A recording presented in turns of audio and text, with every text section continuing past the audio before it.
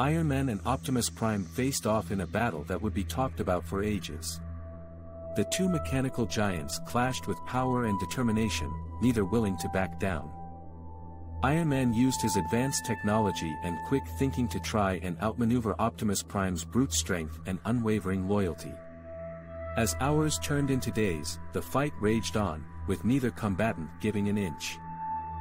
The world watched in awe as the two titans exchanged blows that shook the very earth beneath them. In the end, after 69 long hours of intense combat, Iron Man emerged victorious, his suit battered and broken but his spirit unbroken. Optimus Prime lay defeated, his last words echoing in the silent battlefield. Iron Man's victory was hard fought, but he stood tall, the ultimate winner of this epic battle.